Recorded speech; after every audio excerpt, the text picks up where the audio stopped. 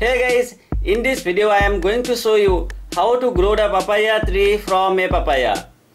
As you can see this is one ripened papaya and I just brought it today from the local market and that's why it's looking so fresh.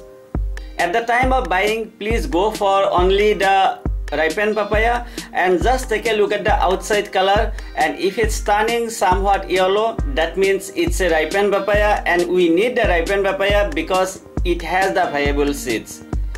As you can see here we have lots of seeds and some are black color and those are the viable seeds.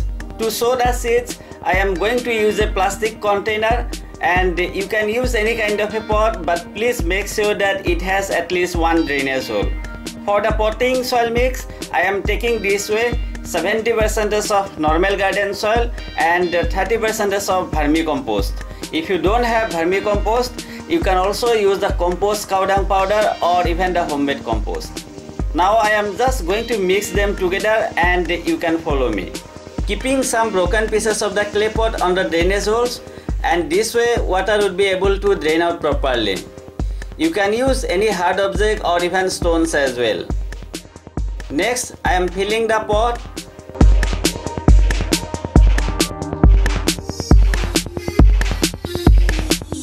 pressing the soil very gently and you can do it either with your hand or any other tool.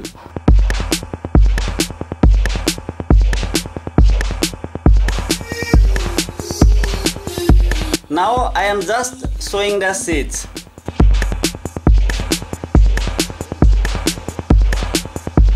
At the time of sowing the seeds, if possible, please try to keep a gap in between two seeds so that later you would be able to pull out the seedlings very easily.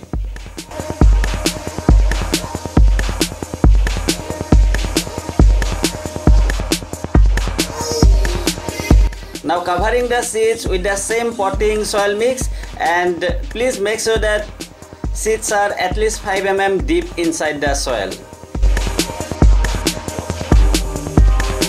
As you can see everything is done and now it's time to water. Again please note that you don't have to water heavily at this time. Next I am going to keep the pot in a place where it would be getting near about 3 to 4 hours of direct sunlight. Now please keep watching and I am going to update the video very soon.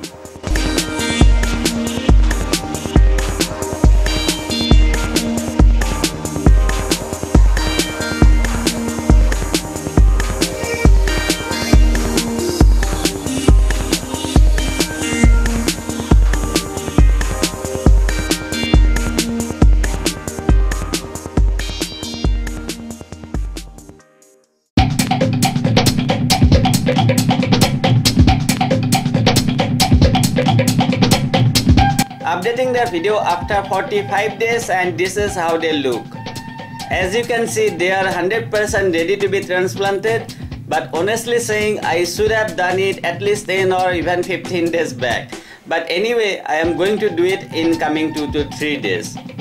I also wanted to say you that I lost many seedlings because of the sparrows and they just like to play with my all of my seedlings.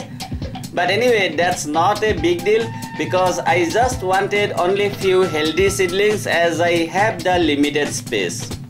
So guys, I am going to end the video right here but I will be doing one other video and that video would cover the complete life cycle of the papaya tree. I mean I would be showing from this stage to harvesting like I do for most of my videos and in case you want to watch that video then please subscribe to my channel so that you will be able to see that in coming few days.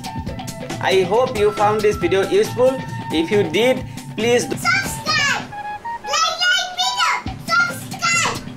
Thank you once again for taking your valuable time to watch the video. I really appreciate it. Have a great day and enjoy.